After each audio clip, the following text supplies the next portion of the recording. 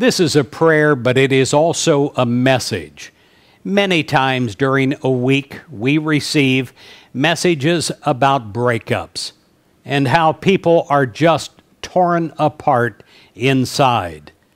I can relate to this because back in the 1970s, I had someone leave me. And I literally was so sick I couldn't get off of the sofa. I was shaking all over and just couldn't eat, couldn't do anything for a while.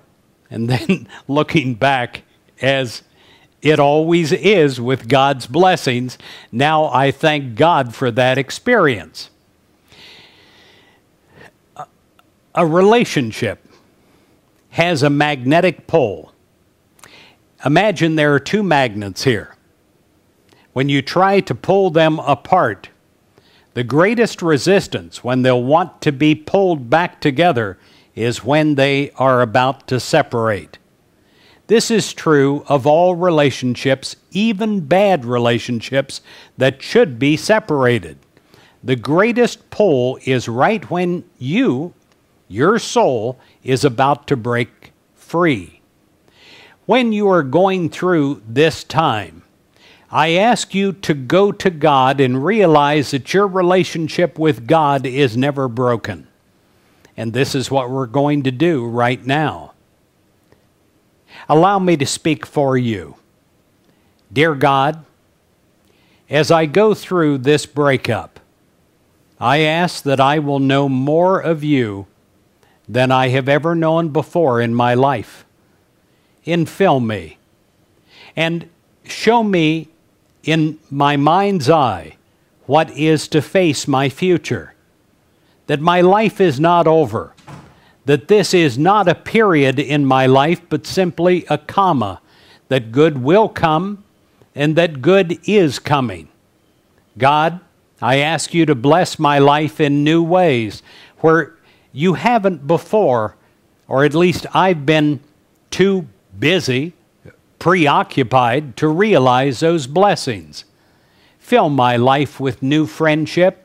Send friends to me to associate so that I can have a strong support group. Not to go out and have a pity party, but to go and be uplifted. And keep me, God, active in life itself. Get me off of the sofa and get me back into life. Help me to realize again what I love to do and motivate me so that I do these things. I am ready and I am willing, God, to have a greater relationship with you. And I am willing, God, and ready, God, to have a greater relationship with others. I do not focus my energy in one direction or put all my eggs in one basket. I realize that God, that good is coming, that good will be restored, and that I can be uplifted. I do not put my worth totally invested in another human being. And if they reject me, I have the spiritual strength to pray for their happiness. I have the spiritual strength to pray for what they need in their life, and I love them enough to do this. And God, I pray in this moment of time that you will bless both of us. Help to eliminate my pain that seems to be ever increasing. Help to to stop this magnetic pull inside of me.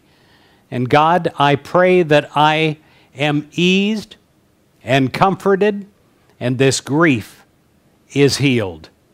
I pray that I'm infilled with your love for myself and for all others, including this significant one. I pray that I become a new person in Christ a stronger person, a better person, a happier person. And that is the last part of my prayer, God. Bring me back happiness again. Make it happen today, and I agree, God, when it comes, when joy knocks on my door, I do not reject it. I let it in. I let it become part of me. I let myself laugh again. I let myself laugh behind my tears, smile behind my frown, and allow my reinforced soul to take over with your power and your touch. God, I ask for a profound healing that I will remember for the rest of my life. May this be a turnaround for good. And with total trust in you, I know, dear God, that the best is yet to be. In Jesus Christ's name I pray. Amen.